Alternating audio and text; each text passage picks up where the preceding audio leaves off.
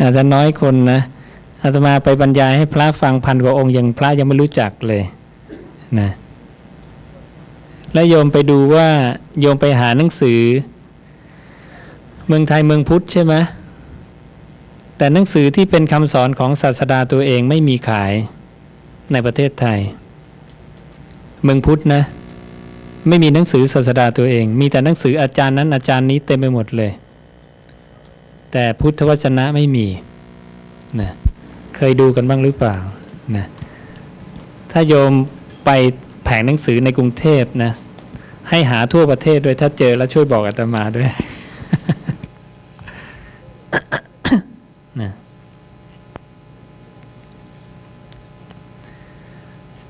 อาตมาเลยบอกอันดับแรกที่เราจะต้องรู้จักคือพุทธวจนะนะ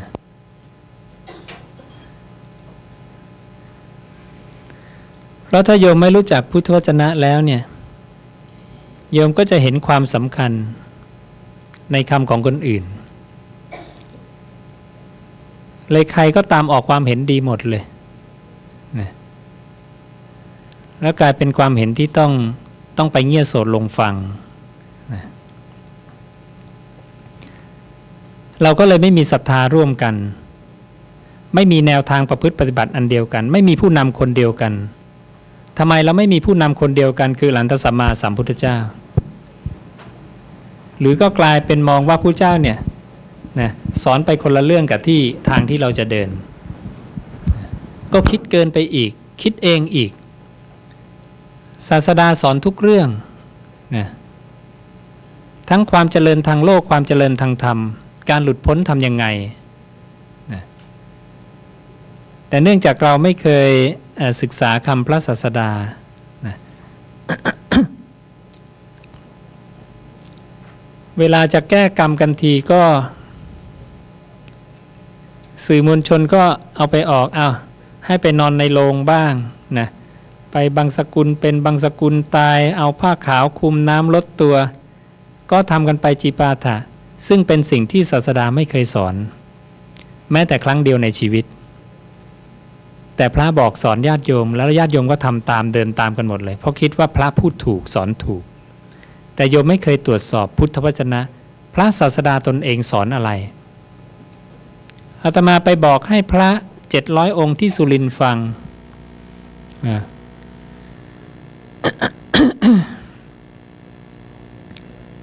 ไปบอกให้พระที่ นี่ที่สุรินเจ็ดร้อยองค์ ที่บุรีรามอีก 400 องค์นะที่ถ้ำดาวเขาแก้วอีก 400 กว่าองค์นะอุบาสกบาสิกาอีก 3 400 พระก็ไม่รู้จักพุทธวจนะคำสอนศาสดาตนเอง ไม่รู้จักวิธีแก้กรรมตามที่ศาสดาบัญญัตินะผู้เจ้าบอกวิธีเดียวในการแก้กรรมคือพระองค์ตรัสว่า อริยอัตถังคิกมักนี้นั่นเองคือกรรมนิโรธคาไม่นีปฏิปทา ไม่งั้นชาวพุทธจะไปเดินยืนเข้าคิวนอนในโรงรอกันเป็นร้อยเป็นพันเหรอโยมนะอ่าไปรอเข้าคิวเข้าในศาลาผ้าขาวคุมเป็นร้อยๆ คนสวดสวดแล้วก็เอากรรมหมดออกไปได้นะก็เพราะเราไม่ทราบนั่นเอง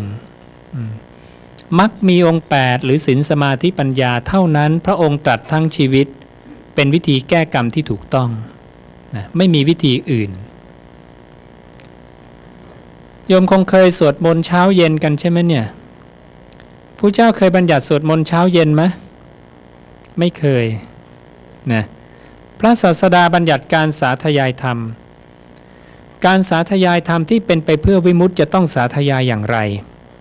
พระพันกว่าองค์ก็ไม่ทราบ อาตมาถามพระพันกว่าองค์ว่าพระศาสดาสอนวิธีการสาธยายธรรมอย่างไรไม่มีใครทราบ พระศาสดาตัวเองสาธยายอะไรเวลาอยู่วิเวกหลีกเล่นผู้เดียว ไม่มีพระทราบ เพราะรู้แต่ว่าอาจารย์ฉันสอนมาอย่างนี้อาจารย์ฉันสอนมาอย่างนี้สิบวัดก็สิบโรงเรียนสิบแบบสิบอาจารย์ร้อยวัดก็ร้อยแบบอาตมาถึงบอกว่าเราไม่มีศาสดาองค์เดียวกันหรือไงเนี่ยใช่ไหม เพราะทุกคนไม่เข้ามาหาพุทธวจนะ นี่คือปัญหา พระศาสดาสวดกฎอิทัปปัจจยตา สวดปฏิจจสุบาทวงรอบเกิดวงรอบดับ สวดเหตุเกิดของความตายและสวดการดับไปของความตาย ไม่มีใครทราบเลยนะแต่ข้อมูลทั้งหมดมีอยู่แล้วทั้งหมดเลย แต่ไม่ไปศึกษากันแค่นั้นเองนะพระไม่ศึกษา ข้อมูลจากบาลีสยามรัฐข้อมูลที่เก่าที่สุดในโลก ชาวพุทธไม่เคยทราบพระไม่เคยถ่ายทอดกันนะเจาะไม่ถึงพระศาสดา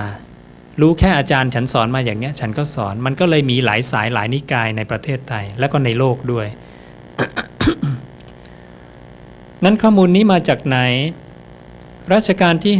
5 ให้จัดเป็นการพิมพ์หนังสือครั้งแรกในโลก เทคโนโลยีหนังสือเข้ามาครั้งแรกในประเทศไทย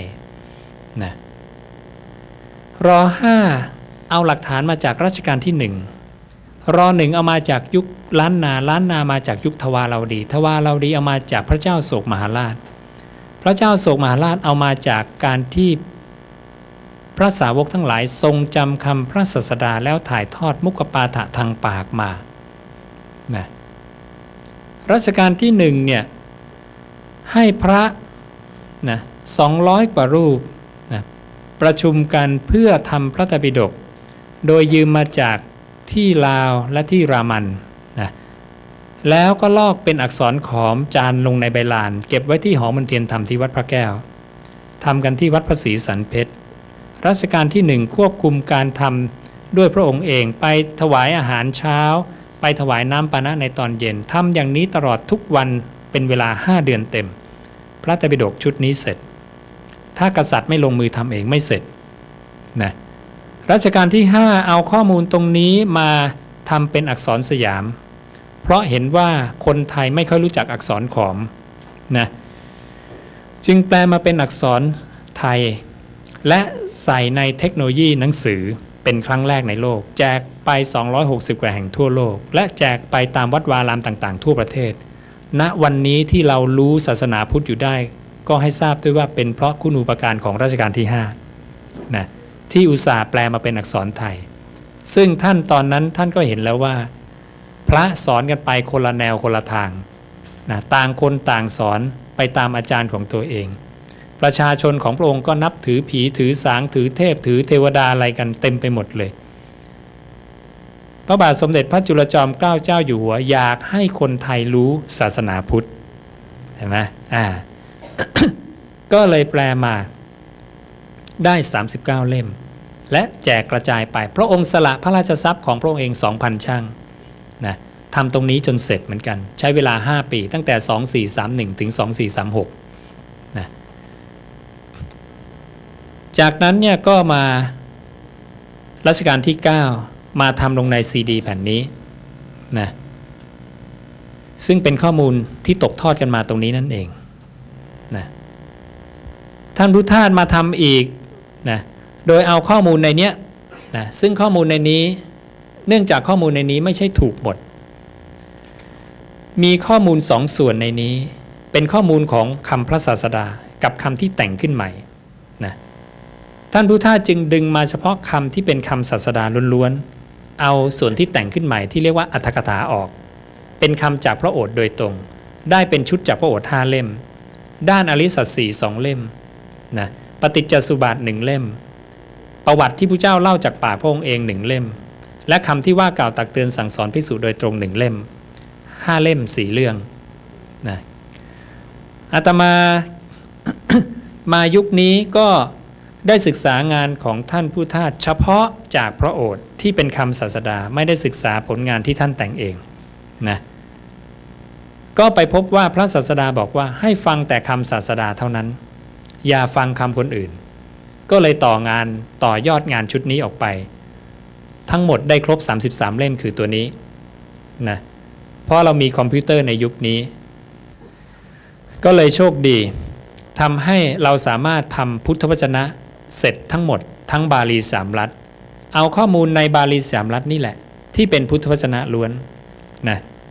ดึงเอามาทั้งหมดได้ทั้งหมด 33 เล่มนะ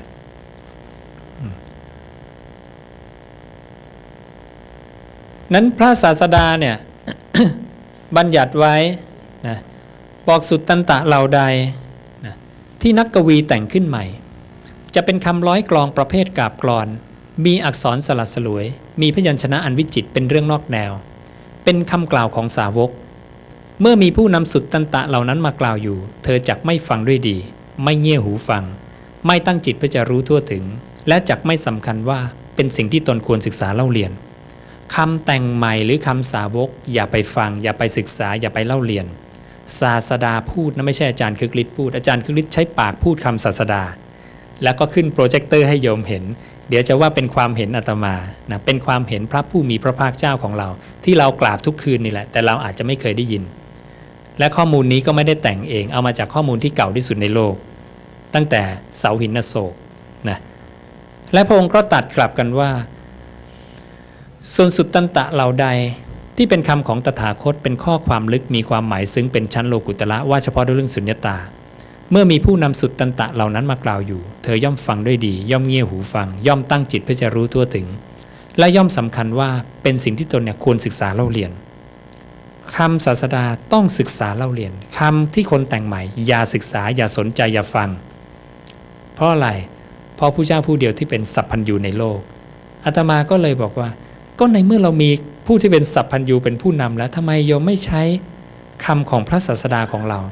ไม่ว่าจะเป็นเรื่องเศรษฐกิจเรื่องการเมืองเรื่องมันใช้ได้หมดเลยนะการเศรษฐกิจผู้เจ้าก็บอกเลยนะอย่าให้รายจ่ายท่วมรายรับ ให้รายรับท่วมรายจ่ายเข้าไว้นะตัดไว้กับพยัคฆปัจฉะนะเรื่องของการทะเลาะเบาแวงวิธีแก้ไม่ยากเข้าไปดับเหตุของการทะเลาะเบาแวง จอมเทพมาถามพระศาสดา บอกว่าเหตุใดไม่ว่าจะเป็นยักษ์หน้าคนทันอสูรมนุษย์เทวดามันทะเลาะกันหมดเลย มันไม่ใช่ทะเลาะกันแต่มนุษย์นะทั่วโลกธาตุมันทะเลาะกันหมด เพราะมันมีกิเลสกันทั้งหมด บอกอะไรเป็นเหตุปัจจัยของการทะเลาะเบาแวง พระศาสดาบอกว่า อิจฉาและมัจฉริยะ ความอิจฉาและความตรณีเป็นเหตุของการทะเลาะ อิจฉากัน ตรณี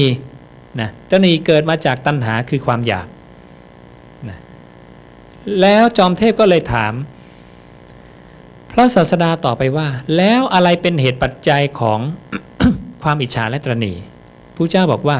สิ่งอันเป็นที่รัก และสิ่งอันไม่เป็นที่รัก โยมรักอะไรโยมไม่รักอะไร เดี๋ยวมันจะทะเลาะกันแล้ว ต้องรีบวางอุเบกขาเข้าใจไหมเหตุปัจจัยอื่นมีอีกเยอะ เพราะคนนั้นไม่เก็บจิตของตัวเองไว้ไม่ประพฤติตามอำนาจจิตของท่านผู้มีผู้มีอายุเหล่าอื่น เก็บความอยากตัวเองไว้ทำตามความอยากคนอื่นบ้างนะซึ่งสาวกรูปหนึ่งกล่าวมาแล้วพระเจ้าก็รับรองนะการทิ้งความเห็นสามอย่าง ถ้าหมู่ชนใดพระศาสดาบอกว่า ถ้าพระองค์เข้าไปในหมู่ชนใดและหมู่ชนนั้นมีการมองดูกันและกันด้วยสายตาแห่งความรัก เข้ากันได้ดุดน้ำนมกับน้ำพระองค์มั่นใจได้เลยว่าหมู่ชนนั้นมีการละทำสามอย่าง แล้วเจริญทำสามอย่างให้มากนะ ละทำสามอย่างคืออะไร กามพยาบาทเบียดเบียน เจริญทำให้มาก3อย่างคืออะไร เนคขมมาวิตก อัพยาปาทวิตก อวิงสาวิตกนะหลีกออกจากกามหลีกออกจากพยาบาทหลีกออกจากเบียดเบียนสามคุณธรรมนี้จะทำให้เกิดความสมัครสมานสามัคคีกันนะนั้นเราต้องสร้างคุณธรรมนะให้กับคนมาก ๆ การสร้างคุณธรรมให้กับคนก็เอาเอาธรรมะไปสอน เอาธรรมะไปธรรมะผิดไปสอนอีกนะ เพราะไม่ใช่พุทธวจนะใช่ไหมบทสวดโยมมีเต็มเลยนะ โยมก็สวดนะคาถาเงินล้านปาหุงชินนะบัญชรชุมนุมเทวดา ยอดพักการอะไรต่ออะไรนี่ เป็นคำแต่งใหม่ทั้งนั้นเลยโยมนะโอ้โห ต้องเปลี่ยนกันอีกเยอะนะเนี่ยทำไมโยมไม่มาสวดคำพระศาสดานะศาสดาสวดอะไรกดอิทัปปัจจยตาสี่บรรทัดเองโยม อิมัสมิงสติทางโหติเมื่อสิ่งนี้มีสิ่งนี้ย่อมมี อิมัสสุปาทาอิทางอุปสติ เพราะการเกิดขึ้นแห่งสิ่งนี้สิ่งนี้จึงเกิดขึ้น อิมัสมิงอสติทางนโหติเมื่อสิ่งนี้ไม่มีสิ่งนี้ย่อมไม่มี อิมัสสนิโรธาอิทางนรุสติ เพราะการดับไปแห่งสิ่งนี้สิ่งนี้จึงดับไปสวดปฏิจจสุบาท เพราะมีอวิชชาเป็นปัจจัยจึงมีสังขารทั้งหลาย เพราะมีสังขารเป็นปัจจัยจึงมีวิญญาณ เพราะมีวิญญาณเป็นปัจจัยจึงมีนามรูป ไล่มาเจอทั้งชาติชรามรณะ ความตายเกิดขึ้นมาได้อย่างไร และส่วนวิธีการดับไปของความตาย ว่าความตายจะดับไปได้อย่างไรนะตั้งแต่เพราะความจางคลายดับไปโดยไม่เหลือแห่งอวิชานั้นนั้นเทียวจึงมีความดับแห่งสังขารเพราะมีความดับแห่งสังขารจึงมีความดับแห่งวิญญาณ ไล่มาจนกระทั่งชาติชรามรณะ ดับศาสดาสวดอย่างนี้เห็นนะทำไมเราไม่เดินตามพระศาสดานะ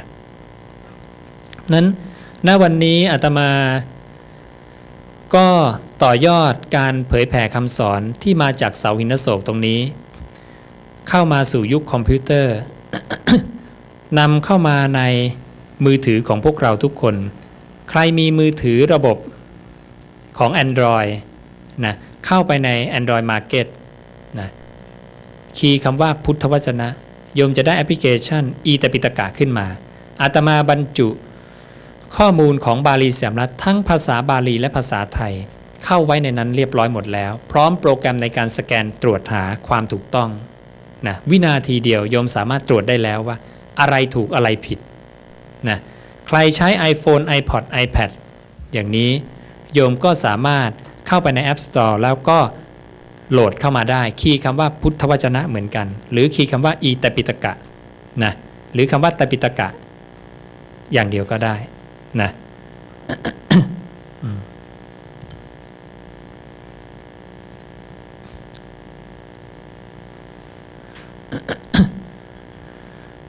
ได้มีการประชุมทั้งในภาครัฐและภาคเอกชนแล้วว่า ต่อไปพวกหนังสืออย่างนี้มันจะหายไปจากโลก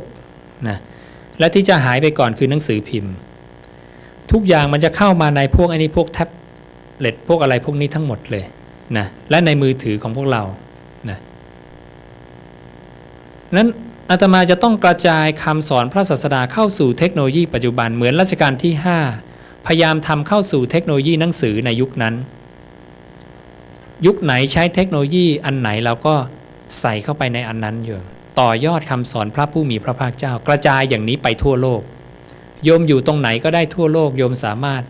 ดึงเข้ามาได้ในมือถือของตนเองนะและโยมก็สามารถสแกนตรวจสอบได้ภายในเวลา2อสวินาที ถ้าคอมพิวเตอร์ที่มีการประมวลผลเร็วหน่อยก็วินาทีเดียวนะแป๊บเดียว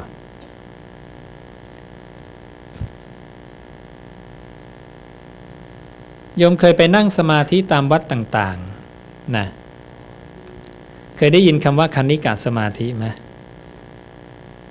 อุปจารสมาธิอัปนาสมาธิเคยใช่ไหมเดี๋ยวเราจะตรวจสอบให้ดูว่าคำพวกนี้เนี่ยผู้เจ้าไม่เคยสอนเลยนะ เราคีย์คำว่าคานิกาสมาธิเข้าไป กดค้นหา ไม่พบคำว่าคานิกาสมาธินะไม่มีในข้อมูลที่เก่าที่สุดในโลก ไม่รู้ไปเอามาจากไหน แต่ทราบว่าไปเอามาจากคำพีวิสุทธิมรรคซึ่งถูกแต่งขึ้นประมาณพันกว่าปีเหมือนกัน แต่ไม่ใช่คำศาสดา ลองคีย์คำว่าอุปจารสมาธิ กดค้นหาไม่พบคำว่าอุปจารสมาธิ อัปปนาสมาธิล่ะ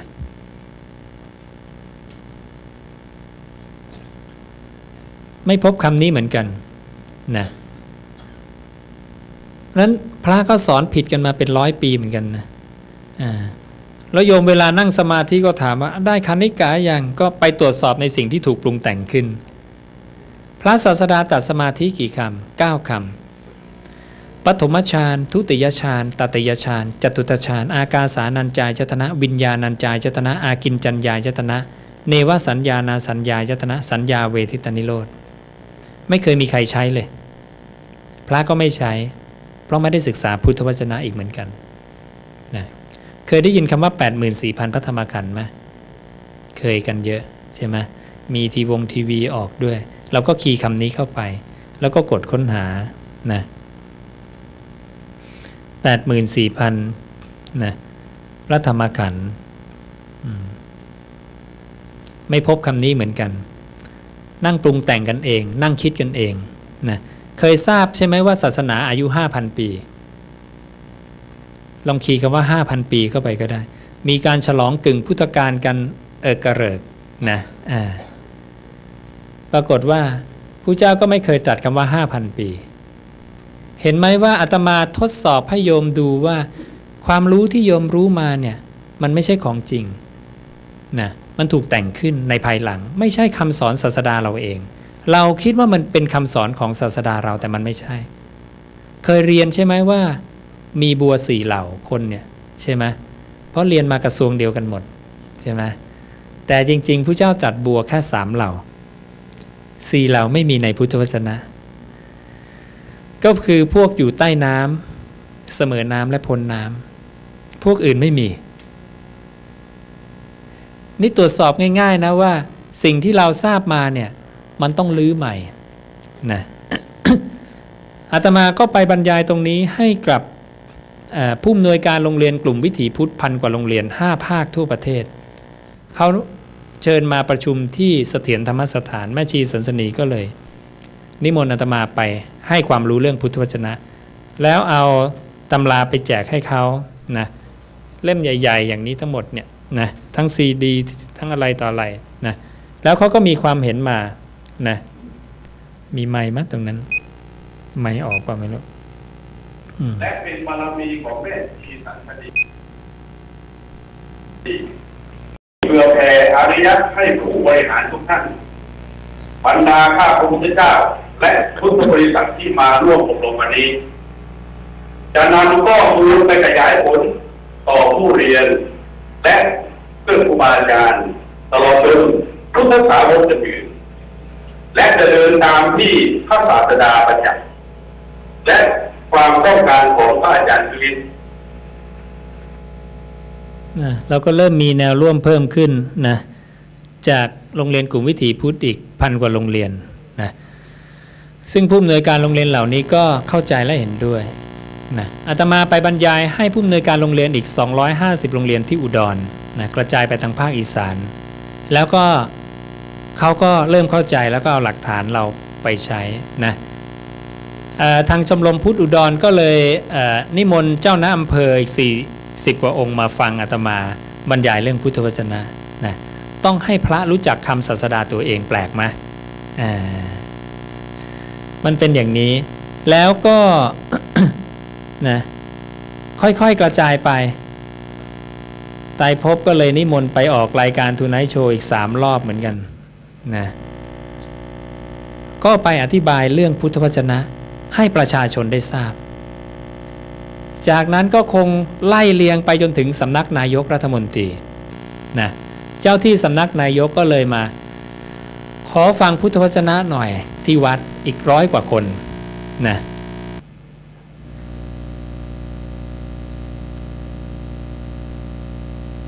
ตั้งแต่ตัวผออไปจนถึงเจ้าที่นะร้อยกว่าคน จากนั้นก็ซักถามกันเป็นที่เข้าใจมันต้องใช้เวลา ไอ้ชั่วโมงเดียวนี้ไม่พอหรอกโยมอาตมากว่าจะทำความเข้าใจให้กับโยมได้ข้อมูลมันต้องสักสองสามชั่วโมง นี่ถกกันนั่งถกกันที่วัดอาตมาสองสามชั่วโมง เข้าใจแล้ว เขาก็เลยนิมนต์ไปบรรยายที่ทำเนียบนะก็เชิญผู้บริหารในทำเนียบมาฟัง เรื่องพุทธวจนะอีกเช่นกันนะนี่ก็เป็นที่ทำเนียบรัฐบาลนะจากนั้นผู้บริหารเข้าใจอีกนะขอเชิญไปที่ตึกสันติไมตรีวันที่ 29 นี้ จะเชิญเจ้าที่รัฐบาลทั้งหมดมาฟังนะ ไม่ต่ำกว่า 500 คน เปิดห้องใหญ่ที่สุดในตึกนั้น จุได้ 1,000 คนนะก็คงต้องค่อยๆ แก้ไขไปเรื่อยๆโยม เราแก้ไขทั้งระดับพื้นล่างอาตมาบรรยายให้ทั้งพระทั้งคารวาสสร้างหมด สร้างข้อมูลด้วยสร้างหลักฐานด้วยทำหลักฐานให้ประจักษ์เลยอยากให้โยมเนี่ยได้รู้จักพุทธวจนะเหมือนกัน ไม่ต้องรู้จักอาจารย์คึกฤทธิ์หรอก ไม่ต้องรู้จักโยมกลับไปรู้จักพุทธวจนะคำของพระผู้มีพระภาคเจ้าของเรานะแล้วโยมจะได้ทราบความจริง และวิธีแก้ไขปัญหาต่างๆ พระศาสดาของเราตรัสบอกไว้หมดแล้ว วิธีปราบเสี้ยนน้ำหลักต่อ พระองค์ก็ตัดไปแล้ว สมัยพระองค์เนี่ยแนะนำกับพระเจ้ามหาวิชิตราชนะพระองค์เป็นพราหมณ์ปุโรหิต พระเจ้ามหาวิชิตราชเนี่ยบอกจะแจกมหาทาน พรามปุโรหิตก็บอกอย่าพึ่งเลยเส้นหนามหลักต่ออย่างเยอะ พระเจ้ามหาวิชิตราชบอกงั้นฆ่าทิ้งหมดเลยนะส่งกองทัพไปปราบอะไรไปปราบพระเจ้าบอกไม่ได้หรอกนะเส้นหนามหลักต่อของแผ่นดิน ไม่สามารถปราบด้วยการฆ่าจองจำขังในประเทศลิบซับนะเพราะว่าคนที่รักเขาก็จะเป็นเส้นหนามหลักต่อของพระองค์ต่อไปในแผ่นดิน ปราบไม่หมดโยมอาตมาถึงบอกอะวิธีการปราบจะทำยังไง จะเอาความเห็นใครโยมเอาความเห็นพระผู้มีพระภาคเจ้าโยมจะทำการเมืองยังไงก็ตาม พระศาสดาคือสัพพัญญูรู้หมดแล้วทุกเรื่อง ถึงความเสื่อมความเจริญของโลกนะความสิ้นสลายของโลกก็ทราบหมดนะผู้เจ้าแนะนำพระเจ้ามหาวิชิตราชบอกยังไง บอกว่า พวกเกษตรกรคนใดเนี่ยโครักกรรม พวกเลี้ยงสัตว์เลี้ยงอะไรเนี่ยที่ขยันขันแข็ง พระองค์จงพระราชทานพืชพันธุ์ธัญญาหารให้เขานะเขาก็จะได้เอาไปปลูกนะพระราชทานพวกสัตว์พวกอะไรให้เขาได้เลี้ยงนะพวกที่ขยันขันแข็ง พวกที่เป็นพ่อค้าวานิชที่ขยันขันแข็งให้พระองค์พระราชทานทรัพย์ให้เขา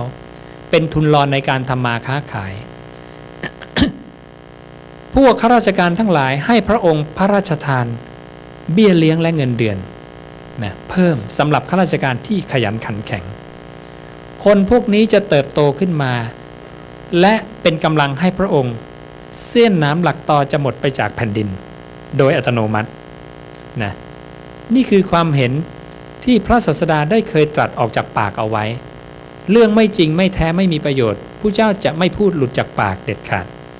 หลักการตัดของอรันตสัมมาสัมพุทธเจ้าจะพูดเฉพาะเรื่องจริงเรื่องแท้และประกอบด้วยประโยชน์นะนั่นนี่คือวิธีการปราบเส้นหนามหลักตอของแผ่นดิน วิธีระงับอธิกรณ์พระศาสดาก็บัญญัติไว้แล้ว มีเรื่องทะเลาะกันเหรอ ในคณะสงฆ์หรือที่ไหนก็ตามเนี่ยนะพระเจ้าบอกสอนไม่หมด เอาในคณะสงฆ์บอกเรื่องจะทะเลาะกันมันมีสี่เรื่องแค่นั้นน่ะนะ วิวาทกันเรื่องวินัยนะโจทย์กันด้วยอาบัตนะมีกิจต่างๆเกิดขึ้นนะในสี่เรื่องนี้มีวิธีระงับ 7 วิธี ใช้สัมมุขาวินัยถึงการพร้อมหน้าการประชุมกันทุกฝ่าย เคยพูดกันทุกฝ่ายไหมไม่เคยเลยพูดกันคนละเวทีตลอดเลยเห็นไหมโยมมันก็เลยไม่ไม่มีทางตกลงกันได้สักที เพราะสัมมุขาวินัยไม่เกิดเห็นนะ สัมมุขาวินัยคือข้อที่หนึ่งนะข้อที่สองใช้อะไรสติวินัย อันนี้ในกรณีของพระคือพระอรหันต์ทำความผิดให้ใช้สติวินัย ท่านมีสติสมบูรณ์ไม่มีความผิดนะอมูลหาวินัยนะใช้สำหรับภิกษุที่เป็นบ้านะปฏิญญาตากรณะนะ เขารับสารภาพอย่างไรก็ลงโทษไปอย่างนั้น เยพุยสิกาใช้เสียงข้างมากสัมมุขาวินัยเนี่ยข้อแรกเนี่ยคุยกันแล้วเนี่ยลงตัวไหมลงตัวจบ ไม่ลงตัวให้ใช้เยพุยสิกาเสียงข้างมาก เห็นไหมไม่งั้นมันลงตัวไม่ได้โยมมันต้องมีเสียงข้างมากข้างหนึ่งแล้วเดินไปตามมันนั้นนะปฏิญญาตากรณะปรับตามรับสารภาพตามจริง และสุดท้ายตินวัฏฐานโกติ ระเบียบดังกลบไว้ด้วยยากนะเรื่องนี้ยังแก้ไขไม่ได้เก็บไว้ก่อนนะประนีประนอม แล้วตั้งองค์คณะชุดเล็กเรียกใช้อุปายกับวิธีนะมาศึกษาเรื่องนี้แล้วได้อย่างไรให้แจ้งที่ประชุมใหญ่ แล้วก็จะได้ดำเนินการต่อไป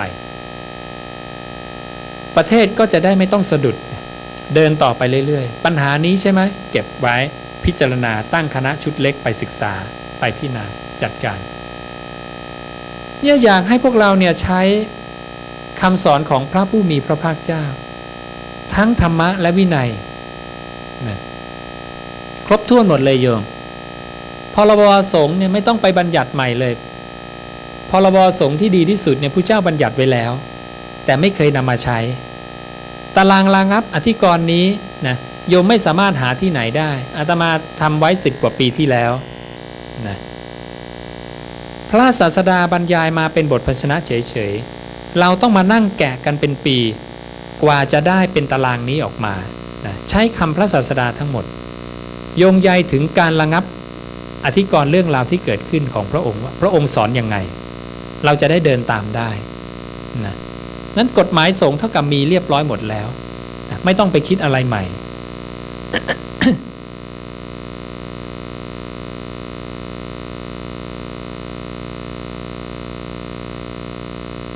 หลักในการประพฤติปฏิบัตินะหลักในการปฏิบัติพระศาสดาสอนอย่างไรในการหลุดพ้น พระองค์ยืนตัวที่มักมีองค์แปดอริสัตสีที่พระองค์ตรัสรู้นั่นเอง ในมรรคแปดเนี่ยสามารถนำไปปฏิบัติได้เลย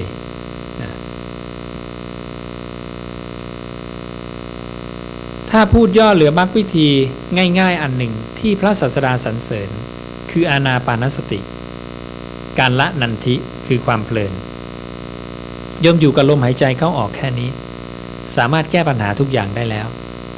และละความเพลินสามารถเป็นพระอรหันต์ได้แล้ว หลุดพ้นจากความแก่เจ็บตาย อย่าลืมยังประโยชน์ตน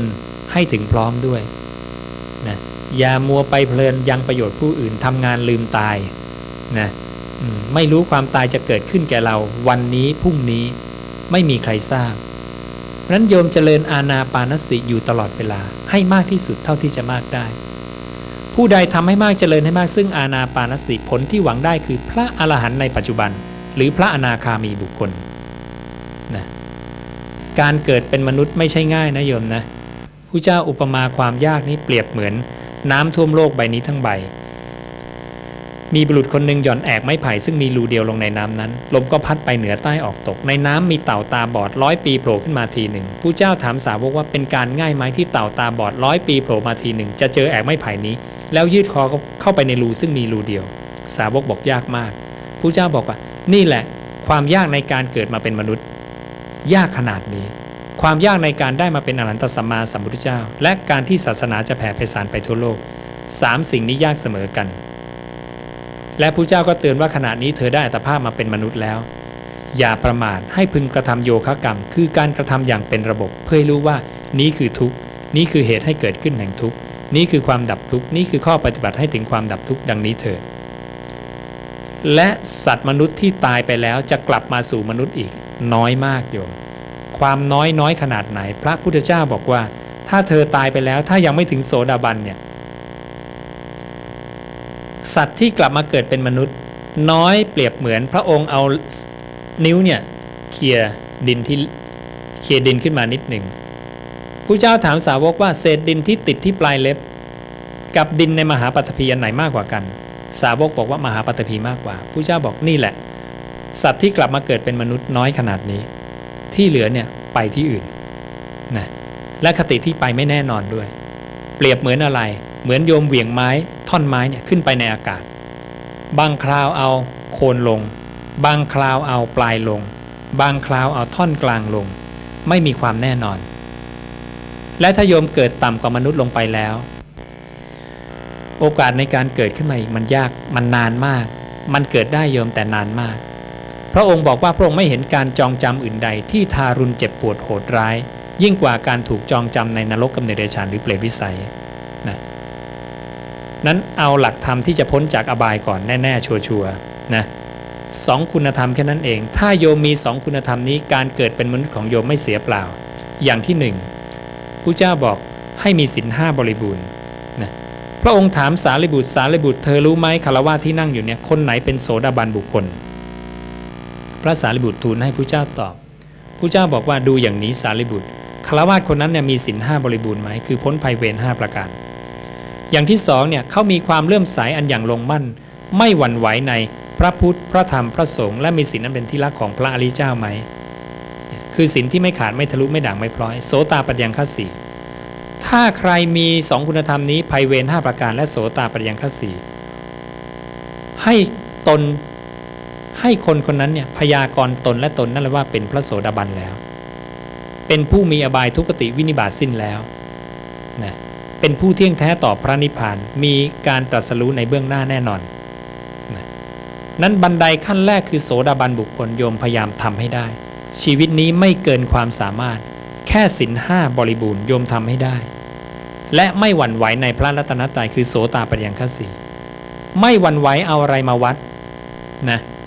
ยังกระทำวัตโกตูละมงคล มงคลตามแบบของสำนักพราหมณ์เหล่าอื่นอยู่ไหมนะ ยังดูหมอดูเลิกดูยามสะดอกเคราะห์ปลูกเสกเลขยันนะ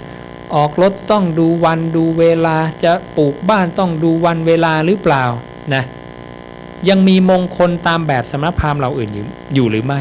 ยังหวั่นไหวในคำสอนของพระศาสดาหรือไม่ สงสัยผู้เจ้าคงไม่บอกเรื่องนี้ไว้คงลืมบอกนะยังเก่งไม่จริงนะหมอดูเขาบอกว่าอย่างนี้ถึงจะดีนะเทพองค์นี้สอนนะอย่างนี้จะดีนะ นี่แสดงว่าโยมหวั่นไหวในศาสดาตัวเอง ว่าศาสดาฉันยังไม่เก่งจริง ยังไม่ใช่สัพพัญญูจริง ยังมีคนอื่นเก่งกว่า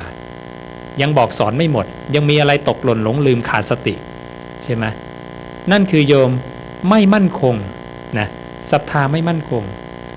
คนที่ไม่มั่นคงเนี่ยผู้เจ้าบอกจิตจะเบาเหมือนปุยนุ่นลมพัดไปซ้ายก็ปลิวซ้าย ลมพัดไปขวาก็ปลิวขวา แต่พระโสดาบันจิตจะมั่นคง เปรียบเหมือนเสาหินที่ฝังลึกลงดิน 8ศอกโผล่ขึ้นมา 8 ศอก จะไม่หวั่นไหวต่อแรงลมฝนที่มาทั้งสี่ทิศชั้นใด จิตของโสดาบันก็ฉันนั้นนะไม่มีใครลากโยมไปตามความเห็นคนโน้นคนนี้ได้นะจิตโยมจะมั่นคงมาก อาตมาจึงอยากให้พวกเราเนี่ยศึกษาพุทธวจนะนะแล้วจะได้นำคำสอนของสัพพัญญูที่ตรัสไว้ทุกเรื่อง บอกวิธีแก้ไขทุกเรื่องไว้ให้ กฎหมายต่างประเทศเนี่ย เอาไบเบิลวางนะอิสลามเอาคัมภีร์อันกุรอานวางนะกฎหมายไทยไม่เคยเอาพุทธวจนะวางเลยใช่ไหมมต่อไปคงต้องมีเหมือนกันนะอตอนนี้ก็ที่ทำเนียบก็กำลังตั้งชมรมพุทธวจนะขึ้นมา เพื่อประสานทุกกระทรวงทบวงกรมแล้วก็เผยแผ่ธรรมะพระศาสดาออกไป ให้คนมีธรรมะที่ถูกต้อง ถูกต้องด้วยนะธรรมะทุกคนพูดธรรมะหมดถูกต้องหรือเปล่าธรรมะที่ถูกต้องมากๆ จะได้แก้ไขปัญหาของประเทศได้นะและเราจะมีศรัทธาเป็นหนึ่งเดียวกันโยมคือศรัทธาต่อพระผู้มีพระภาคเจ้าของเรา สังคมสมัครสมานสามัคคีแน่นอน ประชุมกันหนึ่งนิดประชุมกันให้มากพออยู่เพียงใด ความเจริญก็เป็นสิ่งที่พวกเธอทั้งหลายหวังได้ไม่มีความเสื่อมเลยอยู่เพียงนั้น ประชุมกันแล้วนะมีกิจที่ต้องทำให้ทำพร้อมกัน ให้เลิกพร้อมกัน เริ่มพร้อมเลิกพร้อม สภาเคยเริ่มพร้อมเลิกพร้อมไหมไม่เคยพร้อมสักอย่างใช่ไหมเห็นนะ เพราะอะไรเพราะสภาไม่นำคำสอนศาสดาไปใช้ เห็นนะโยมคิดดูถ้าโยมดูทีวีประเทศไหนเนี่ยเริ่มประชุมพร้อมกันเลิกพร้อมกันพลุบพลับสมัครสมานเป็นหนึ่งเดียวกันโอ้โหประเทศนั้นเข้มแข็งไหมเรามองภาพเลยนะว่าโอ้คนเขามีวินัยมาก มีความสามัคคีสูงมาก พระเจ้าชาติศัตรูจะไปตีเมืองวัดชี ซึ่งเป็นแคว้นเล็ก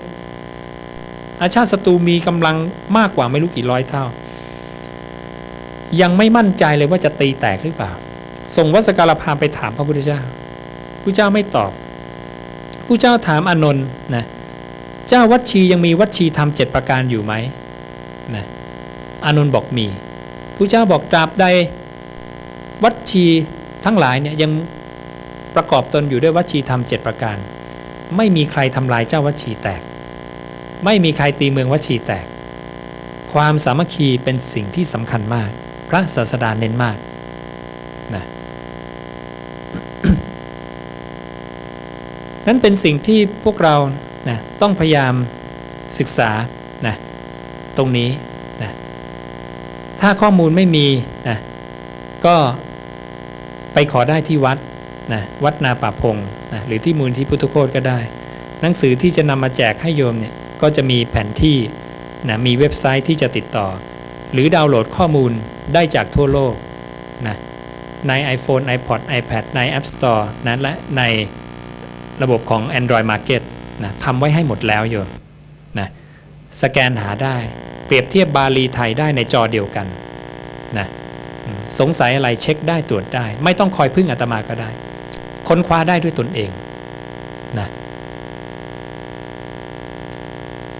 ก็พยายามจะสรุปประเด็นหลักๆ ให้พวกเราได้ทราบนะเพราะเวลามีน้อยนะอ่าเดี๋ยวไปต่อยอดอย่างอื่นได้ มีข้อสงสัยอะไรสักถามนะจะตอบให้สั้นๆ เชิญได้นะเชิญ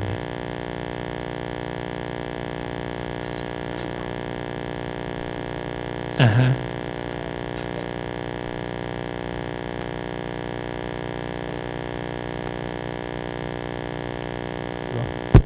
รั ชนีแมนเวทีค่ะ สมาคมสายใยครอบครัว ดูแลผู้ป่วยจิตเวชค่ะอ่าเอ่อเริ่มใสในคำที่ท่านเทศมากเลย แล้วก็คิดว่าถ้าเราได้รณรงค์เผยแพร่พุทธวจนะไปให้ชาวพุทธได้เรียนรู้แล้วก็จะได้เป็นเป็นการเปลี่ยนปฏิรูปอ่าฮะกระบวนการทั้งหมดเกี่ยวกับพุทธพิธีต่างๆ ก็เลย อยากจะเรียนถามท่านว่าถ้าเถรสมาคมเนี่ยเข้ามามีบทบาทตรงนี้น่าจะขยายผลได้เร็วขึ้นไหมคะ ดีมากเลยโยม แต่ตมาไม่ยังเป็นพระตัวเล็กๆนะที่ยังไม่ไปสามารถบอกใครได้ ได้แต่ประกาศสัจจะความจริงออกไป ใครเห็นประโยชน์เห็นความสำคัญก็ไปศึกษา เพราะตำราพวกนี้ประเทศไทยมีอยู่แล้ว เป็นข้อมูลสาธารณะเป็นข้อมูลระดับประเทศนะที่เก่าที่สุดในโลก เพียงแต่เข้าไปศึกษาแค่นั้นเอง เนื่องจากไม่มีใครศึกษา พระวัดป่าสายปฏิบัติ ปฏิเสธ พุทธวจนะ เอาแต่คำอาจารย์ตัวเองนะพระวัดบ้านศึกษาพระไตรปิฎกเหมือนกัน แต่แต่ดันไปศึกษาคำที่แต่งขึ้นใหม่ ไม่ได้ศึกษาพุทธวจนะหนีคำพระพุทธเจ้าหมดเลย เป็นเรื่องแปลกอยู่ ซึ่งพระศาสดาเนี่ยบอกไว้แล้วว่า ในการยืดยาวนานฝ่ายอนาคต จะมีภิกษุเนี่ยไม่สนใจคำตถาคต นี่มันเป็นอย่างนั้นจริง ๆอาตมาจึงบอกโยมอะในประเทศไทยไม่มีหนังสือพุทธวจนะ ทั้งที่เราเป็นเมืองพุทธ และเราบอกเป็นเมืองพุทธที่เจริญที่สุดในโลกด้วยนะนี่คือเรื่องแปลกและเรื่องจริงที่มันเกิดขึ้น ตรงกับที่ศาสดาได้พยากรณ์เอาไว้ เพราะนั้นเมื่อเรารู้เหตุตรงนี้เราต้องช่วยกันแก้ไขเหตุ เหตุปัจจัยของความเจริญตั้งมั่นของพระศาสนาโยมสี่อย่างแค่นั้นเอง 1. บทพันชนะต้องถูกความหมายถูกอธิบายถูก 2. ภิกษุเป็นผู้ว่าง่ายอดทนยอมรับฟังคำสั่งสอนโดยความเคารพหนักแน่น 3. ภิกษุที่คล่องแคล่วในหลักพุทธวจนะทรงธรรมทรงวินัยทรงมาติกาต้องเป็นผู้ที่ขยันถ่ายทอดบอกสอนเนื้อความนั้นๆแก่ชนทั้งหลาย เพื่อไม่ขาดผู้เป็นมูลรากสืบทอดกันต่อๆไป 4. ภิกษุที่เป็นเทระแล้วต้องไม่เป็นผู้นำในทางสามต้องมุ่งหน้าไปในกิจแห่งวิเวกธรรมปารุความเพียรให้ถึงสิ่งที่ยังไม่ถึงให้บรรลุสิ่งที่ยังไม่บรรลุ นี่คือ 4 ข้อความเจริญศาสนาอาตมาว่ารัฐบาลเนี่ยมีงบในการบำรุงศาสนาเยอะมากนะ ส่วนหนึ่งอาตมาเคยไปได้ยินว่ามีมา 2,000 ล้าน ถามเขาว่า 2,000 ล้านทำอะไร บอกเอาไปซ่อมวัดนะผู้เจ้าไม่เคยบอกเรื่องวัตถุก่อสร้างเป็นหลักของความเจริญศาสนาเลยแม้แต่ครั้งเดียวในชีวิตใช่ไหมเห็นไหมว่าเรานำงบประมาณเนี่ยนำไปใช้ผิดทางนะแล้วอาตมาก็บอกที่สำนักนายกบอกว่าอาตมาไม่เคยเห็นรัฐบาลไหนทำบทพันชนะออกแจกจ่ายเหมือนรัชกาลที่ 5 กับรัชกาลที่ 1 เลย เห็นไหม ทำต่อยอดตรงตามพระศาสดาโยมทำข้อที่หนึ่งเนี่ยทำได้เนี่ยนะหนังสือแจกทั่วประเทศเนี่ยนะทำบทพันชนะพระศาสดาสิ พระก็ไม่มีอ่านคารวาสก็ไม่มีอ่าน ไม่มีใครได้อ่านเลยคำสอนศาสดาตัวเอง ใช่ไหมแล้วจะให้พระสัตธรรมตั้งมั่นอยู่ในประเทศได้ยังไง ใช่ไหมแล้วอย่างพระเนี่ยได้งบไปแล้วไปทำอะไรรู้ไหมวัดข้างๆอาตมาเขาได้งบมาแล้วเขาก็ไปยกโบสถ์ให้สูงขึ้น แล้วก็ ประกาศให้คนมาลอดโบสถ์เพื่อแก้กรรม โอ้โห ไปกันคนละเรื่อง เห็นไหมก็ไปทำในเรื่องที่เป็นวัตโกตูละมงคล เป็นมิจฉาทิฏฐิแบบต่างๆ เพราะพระไม่ทราบคำพระศาสดา ขึ้นป้ายใหญ่ๆเลยประกาศให้บูชาชูชก โอ้ไปอีกคนละเรื่องอีกแล้วใช่ไหมเนี่ยเราเอางบประมาณไปทำอะไรก็ไม่รู้ไง รัฐบาลต้องสร้างลงลงพิมพ์หนังสือโยมที่พิมพ์พุทธวจนะออก 2,000 ล้านนิยมสร้างโรงงานปั๊มซีดีนะทำซีดีพุทธวจนะออกแจกได้ทั่วประเทศเลย สร้างลงพิมพ์หนังสือได้ไม่รู้กี่โรงใช่ไหมอ่านั้นถ้าเรารู้เหตุเจริญและเสื่อมศาสนาอย่างที่ศาสดาบัญญัติและเดินตามตรงๆทำตรงๆ สุดยอดเลยโยม ประเทศไทยเจริญมากเลย ไม่ต้องการงบเยอะหรอกเอางบพอดีพอดีแค่นั้นนะนะเชิญโยม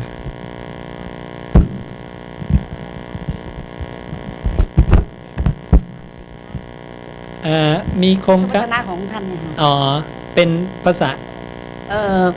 คนนี้ต้องเพราะว่าต่างชาติสนใจตรงนี้มากใช่ไหมอ๋อเพราะฉะนั้นน่าจะมีแปลเป็นภาษาอังกฤษบ้าง เพราะว่าที่เห็นมานะคะมีมันเอกอดุลสุวรรณตรา ท่านแปลอ่าฮะพุทธวจนะเป็นเอ่อภาษาอังกฤษแล้วค่ะ อ่าฮะ แต่ท่านแปลไม่มาก อ่าฮะ แล้วก็มาเผยแพร่กันแล้วก็ให้ต่างชาติทราบค่ะ อ่าฮะ อ่าฮะกำลังทำกำลังทำอยู่ ก็ทำอยู่อย่างอันนี้ทำเป็นภาษาฝรั่งเศสแล้วภาษาอังกฤษด้วยนะแล้วก็ตรงนี้ก็กำลังทยอยทำเป็นภาษาอังกฤษอยู่นะและเว็บไซต์ก็กำลังปรับเป็นภาษาอังกฤษอีกอันหนึ่งเพื่อให้ต่างชาติเข้าได้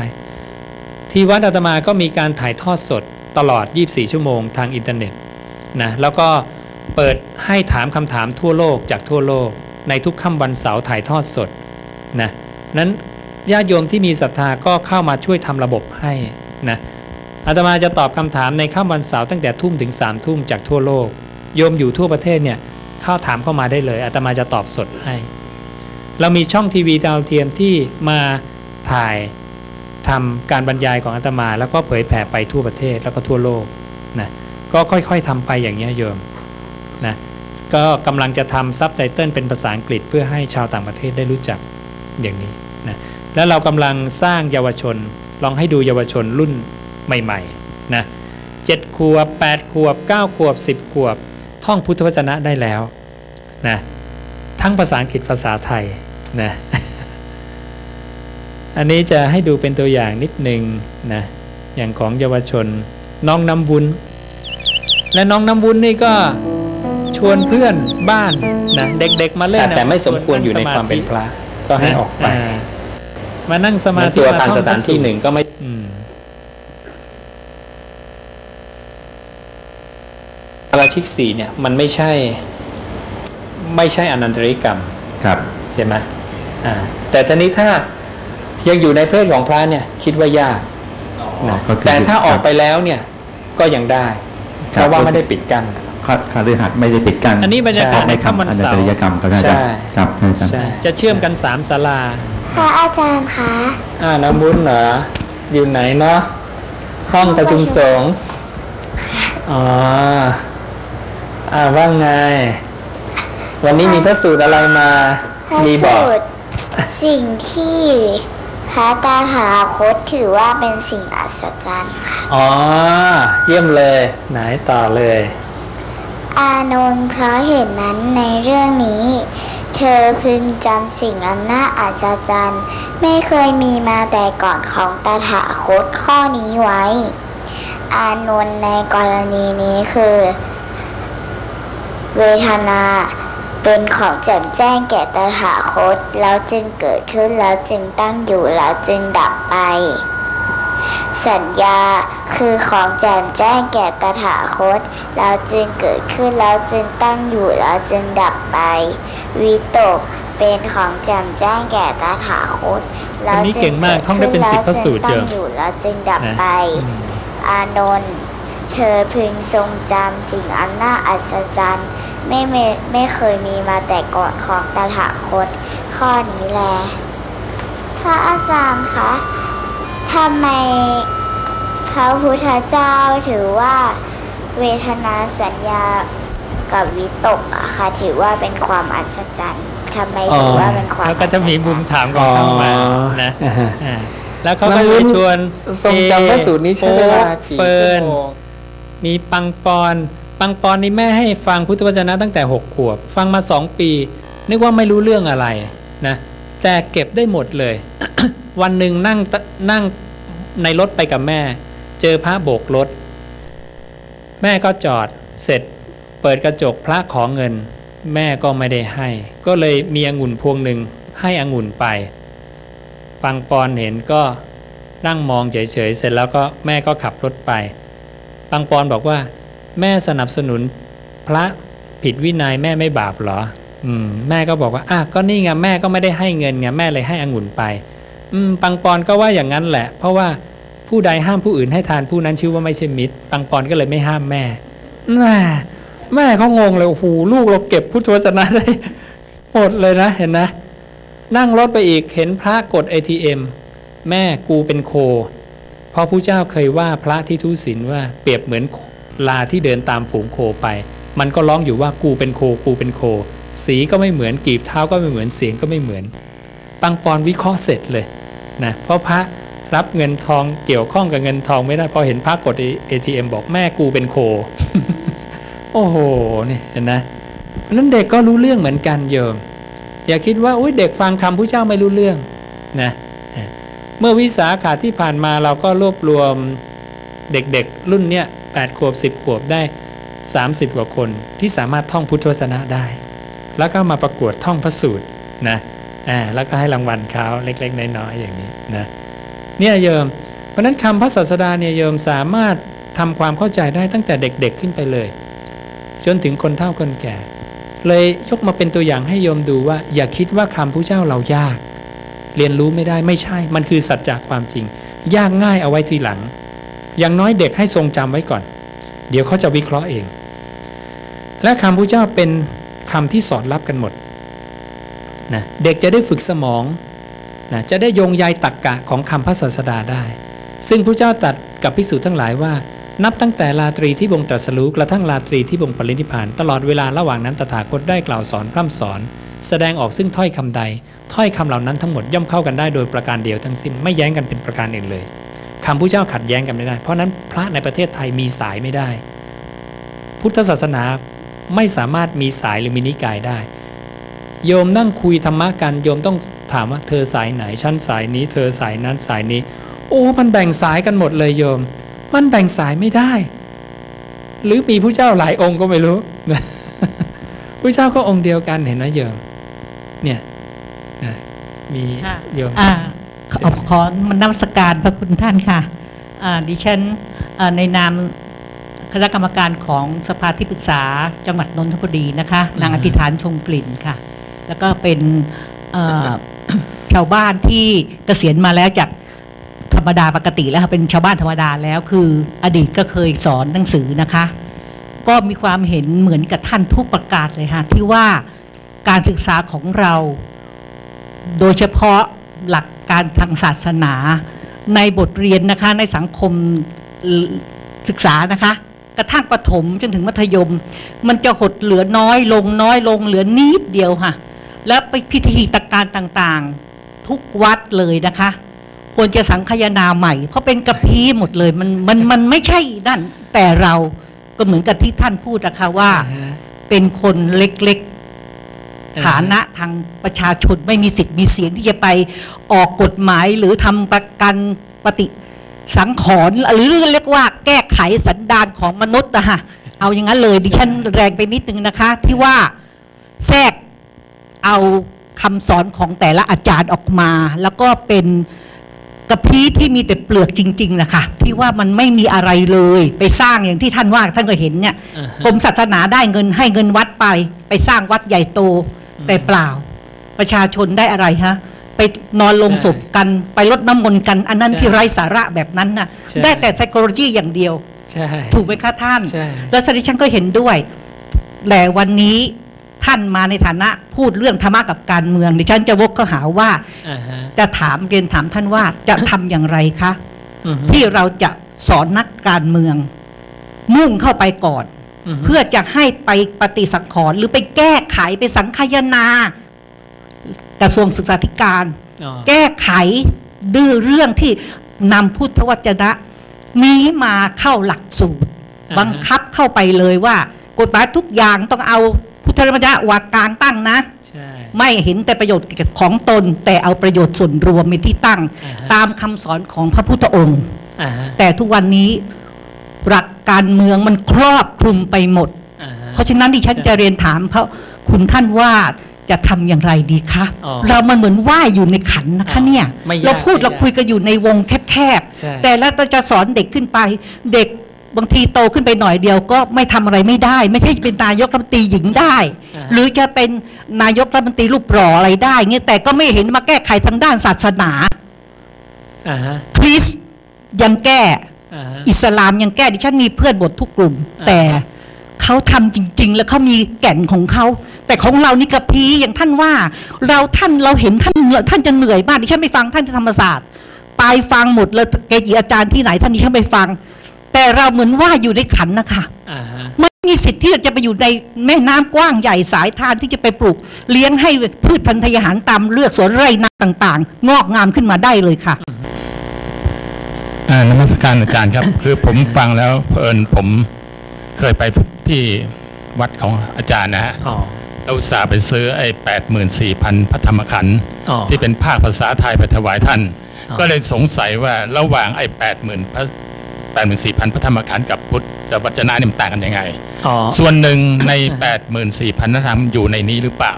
หรือมีบางส่วนนะ แล้วก็อ๋อไอ้แปดหมื่นสี่พันธรรมได้มีการแก้ไขมาตลอด ใช่ไหมหลายสมัยอืมจนขั้นสุดท้ายยังไม่มีการการแก้ไข ก็อยากทราบทราบทราบว่าความแตกต่างกันในเป็นยังไงครับ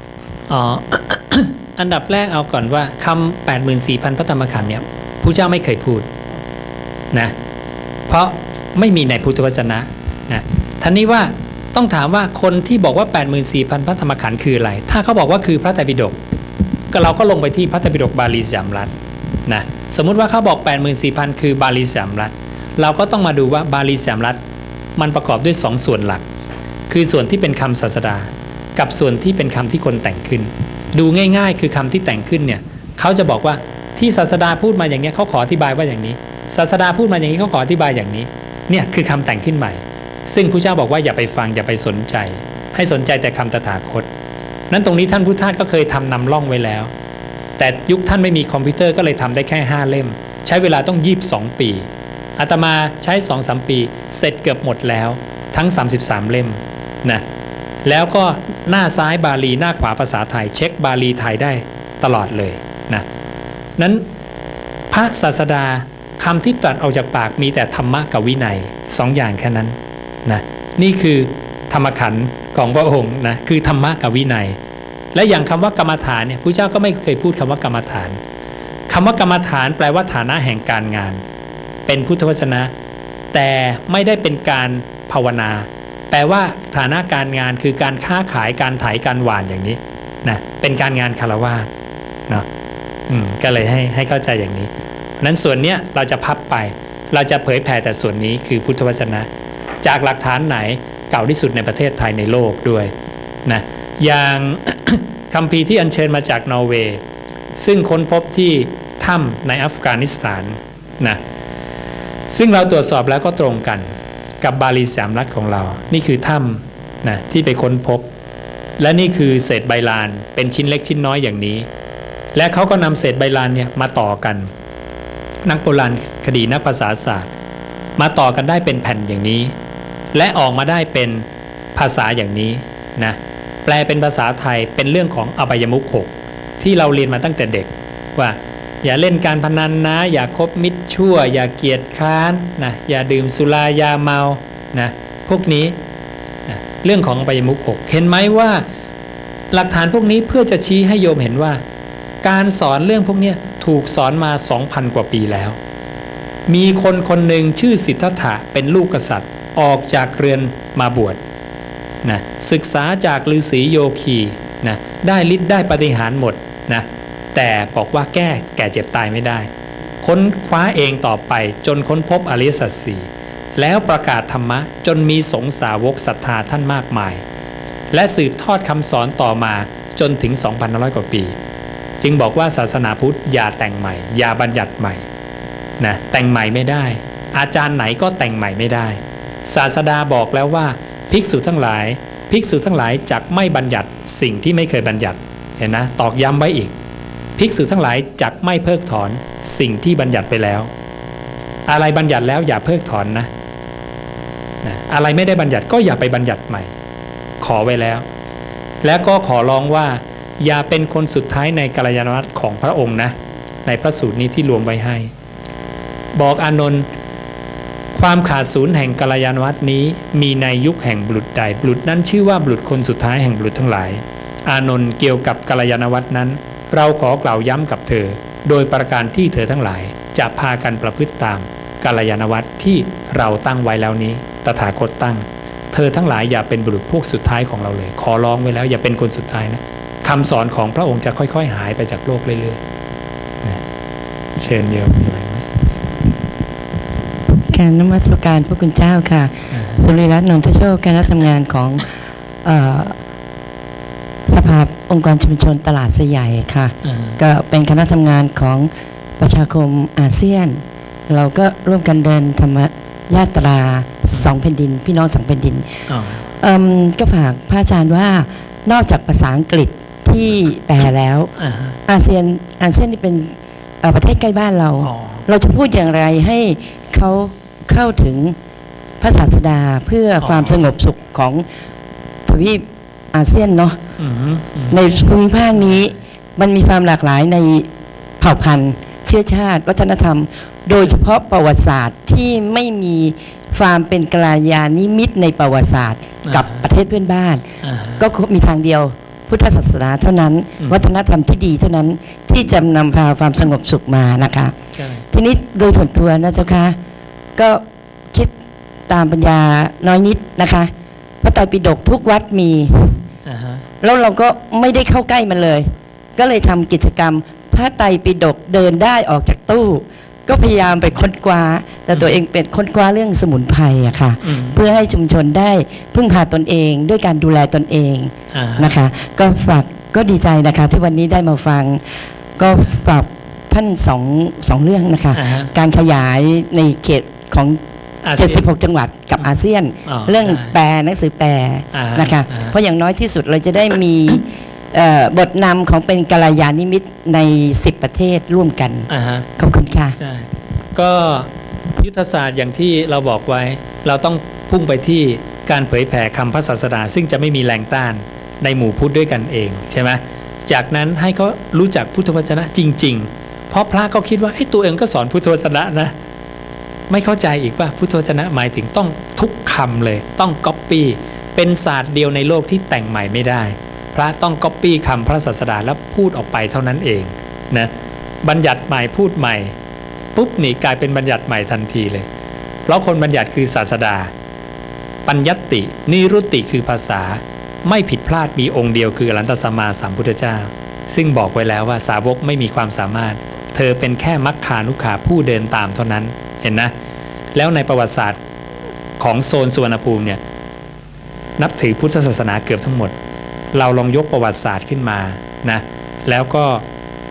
ชูตรงนี้ขึ้นมานะเพราะรัชกาลที่5เนี่ยเคยเขียนไว้นะตั้งแต่รัชกาลที่ 1 เหมือนกันว่า เมื่อประเทศไหนเนี่ยล่มสลายเนี่ยแล้วเมื่อก่อตั้งได้ใหม่เนี่ยก็จะยืมประเทศข้างบ้านเนี่ยคัดลอกพระไตรปิฎกมา เพื่อให้ดำรงอยู่ในประเทศนั้นต่อไปนะ ของไทยก็เหมือนกัน สมัยอยุธยาถูกเผาหมดรอหนึ่งก็ขอจากประเทศเพื่อนบ้านเข้ามา แล้วก็มาคัดลอกใหม่นะเราก็เลยมีหลักฐานทางพุทธศาสนาเนี่ยสืบทอดกันมาต่อจนทุกวันนี้นะอืมเนี่ยกำลังก็หาอาสาสมัครเนาะเนี่ยค่อยๆทำเดี๋ยวประกาศในเว็บ เดี๋ยวก็ค่อย ๆ มีคนเข้ามานะตอนนี้เรามีอาสาสมัครเป็นร้อยคนเหมือนกัน แล้วก็ช่วยทำงานตรงนี้อยู่นะอืมก็อนุทนากับโยมนะ มีไหมเพิ่มเติมนะฮัลโหลครับ มีอีกสักหนึ่งท่านไหมครับ ถ้าไม่มีอะผมข้างก็หน้าโยมข้างหน้าอ่าอาจารย์อีกเหรอสองครั้งแล้วนะอ๋ออ่าครับผมครับ ได้เลยเอ่อต้องช่วยกันทุกคนเนาะเอ่อคืออย่างนี้นะคะอย่างเรียนเพราะท่านจะเข้าสำนักนารัฐมนตรีอะไรทำเนียบนะนะอ่าฮะคือฝากรัฐบาลว่า ตามโรงแรมโรงแรมใหญ่ ๆ ของเราเนี่ยนะคะอ๋อควรจะมีตรงนี้ไปบ้างใช่ใช่ใช่เหมือนกับคัมภีร์ของเขาใช่ไหมฮะอ่าคัมภีร์ของเขาในไบเบิลมีหมดทุกโรงแรมเลยอ่าฮะแต่ของเรายังไม่มีอะไรเลยศาสนาอะไรก็ไม่มีให้อ่านะฮะมีแต่อะไรก็ไม่ทราบนะเพราะฉะนั้นขอเรียนฝากท่านไว้ด้วยว่า เข้าไปข้างในช่วยบอกว่าให้รัฐบาลช่วยสนับสนุนตรงนี้ด้วยนะฮะท่านจะได้ทำแล้วก็โรงแรมใหญ่ๆที่ต่างประเทศมาพักหรือนะต่างจังหวัดเนี่ยภูเก็ตเนี่ยนะฮะอืมเพราะฉะนั้นเขาจะได้ศึกษา ของเราด้วยนะคะฝากเรียนฝากท่านด้วยค่ะ ได้ค่ะได้อะถ้าไม่ลืม เพราะว่า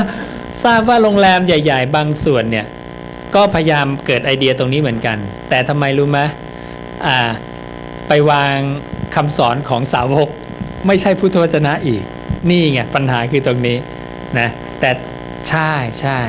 แต่ถ้าเราได้วางคำสอนศาสดาแล้วนะ สุดยอดเลย ใช่ไหมอ่า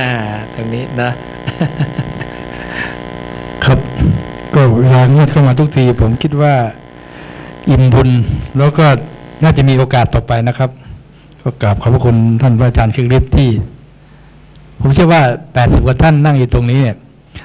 เพิ่งเคยได้ยินคำว่าพุทธวจนะมันอยู่ในวังวนความที่ไม่รู้จริงทั้งนั้นเลย